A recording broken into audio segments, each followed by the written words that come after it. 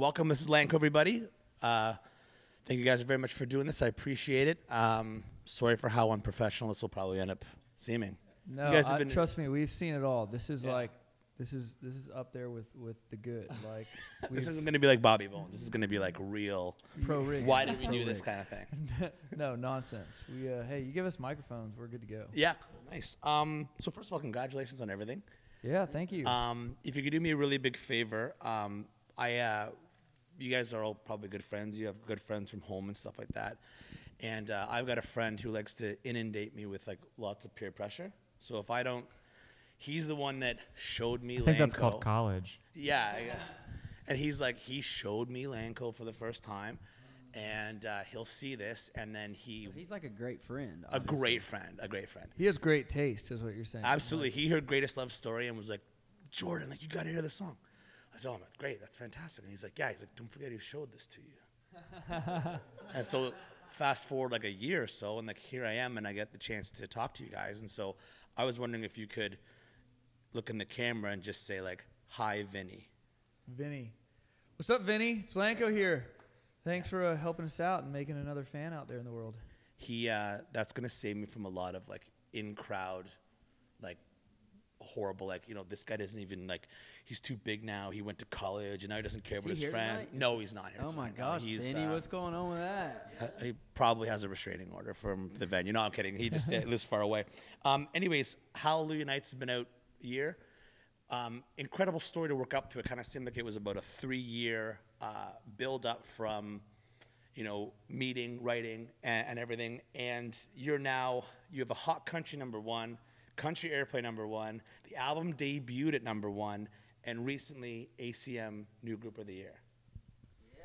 Oh man, I'm blushing after like the laundry list of all Yeah. that. So you guys have been on the road, which feels like for a while. Uh, When was the last time you guys got an opportunity to sit back and like really realize what you've accomplished? Does that happen? For you? Uh, yeah. I mean, you know, it's weird. It's a. I feel like one day I'll be like in a rocking chair, an old man, and it'll just hit me like, "Whoa, that all happened." Um, but right now, I don't know. It's been such a wild ride. I think it happened. I don't know the, the the all the accolades, all that stuff, all that really means is that you're making fans, and so I think that it it really hits you the most. There are just moments when you're playing a show, and it happened. I mean, even on this tour, you're in a sold out arena, and you take a step back and like, this is an arena full of people singing along with us. This is just wild. But I, for me, you know, it's not. I don't really like.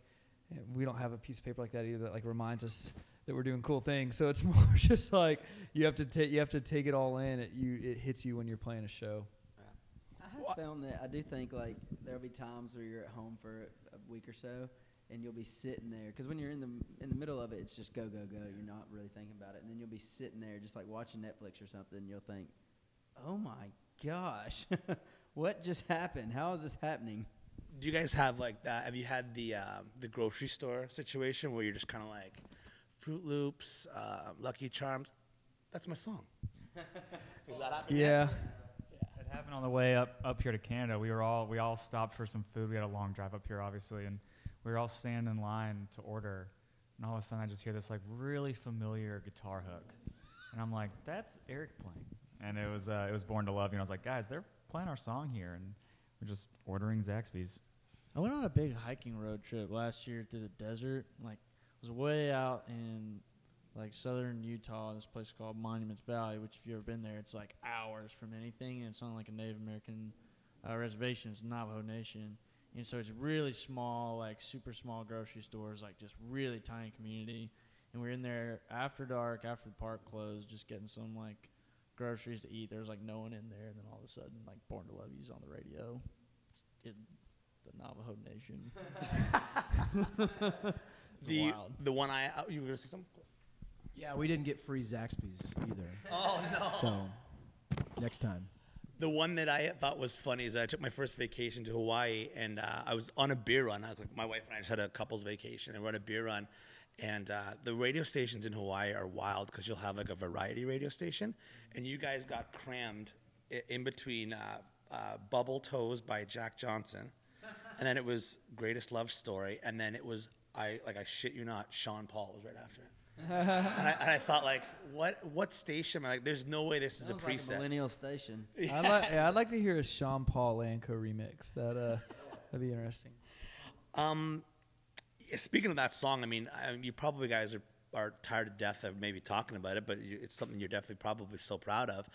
Um, people sometimes get tired of playing their hits. Are you guys are you guys tired of that one yet, or because you guys played on every show, Ellen, Yeah. everything? Yeah, no, not at all. I um, I think that he, I don't know. You know, when you play it live, you're not alone. You know, there's Yeah. people out there, and you see the people's faces light up. I remember years ago, I went with my now wife at the time girlfriend. We went to a festival in Tennessee called Bonnaroo, Oh yeah. and uh, Tom Petty was playing. And you never know with older acts like that what hits they're gonna play. But he played American Girl, he played Free Fall, he played you know just all those songs. And I remember being so thankful because he was giving me. I know that for decades people have been hearing those Yeah. songs. He's been playing them, but. I remember being like, I'm having this moment and sharing this moment now with so many people in history that have had this moment with this song. And I think that you kind of realize that when you're on stage, same thing. When you start playing certain songs, you look out in the crowd and you see people, you know, tap each other and they start freaking out. Um, it just reminds you really why you're doing this whole thing. And so it's, I, if we start getting tired of that, we're in trouble. That's the he did a bunch of Wilbury stuff for that show, didn't he? He did the Yeah, end of the oh, yeah. line and handle with care and oh stuff. yeah, yeah. He did. He it was cool because he mixed in like his obviously you know like huge like stereotypical Yeah. songs that you'd expect, but then yeah, he did. He did. I mean, he played for like two and a half Half hours, hours, so yeah. it was crazy. The, the, the beauty thing with the internet is like I've been to Bonnaroo once and it was uh, it was the Kanye year We came on like five hours too late, and uh, They still have a What year chant. is that? Do you know? I don't know. I think it's got. I'm gonna say 08 or 09.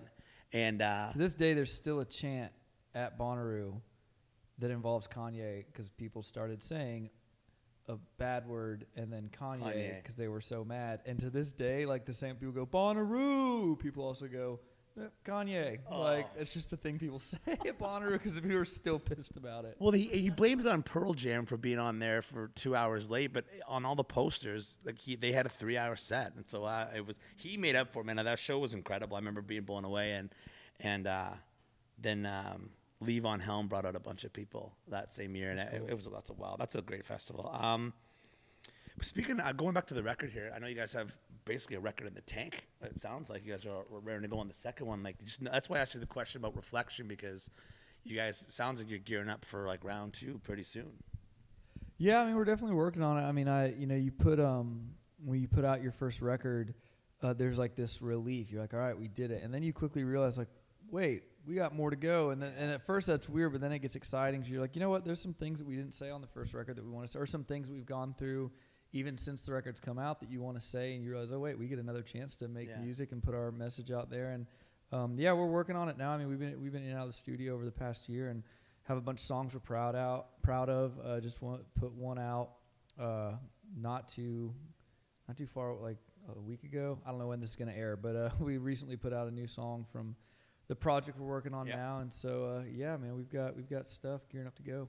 So rival is like the to me that's a back of the arena. Like that one reaches all the way to the back. Where you look at like, one of the first singles was more. You could sing that one in a coffee shop. You won't be. It doesn't sound like you'd be doing rival at the Bluebird. You know what I mean? Like that's a that's a reach to the back of the audience type. Was that kind of a was that a conscious decision? Like we're gonna. I, I hate to use the, the term like go bigger, but was it a conscious decision to go like okay. We, we own this theater, but we want to get to the back of the arena with this. Yeah, that's a that's an interesting way to put it. It's also interesting because we, uh, I mean, we we first started playing this song in on this tour in arenas, and we were seeing how people were responding to it. And we were like, oh, this is this would be a cool song to have in our in our catalog. But I mean, there's also an aspect of you know our first record.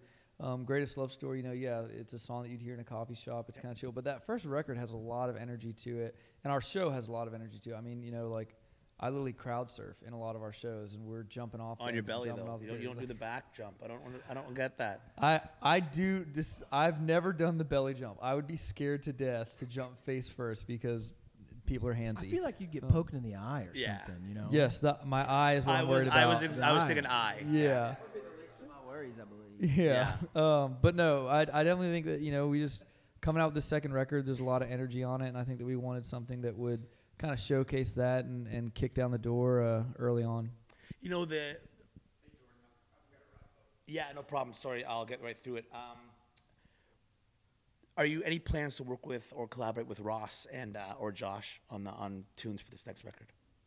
Ross or Josh? oh, uh, songwriters. Yeah, oh, Josh Copperman and- and Osborne and Josh, yeah. Ross. Yeah, sorry. Sorry, honestly, we there's so many people involved I in like the record making process, and there's like three Joshes. Um, yeah, I mean, I've actually already written with uh with Josh a few songs. We um, and and Ross as well. We actually are working on a song today in soundcheck that uh Josh helped write, and so.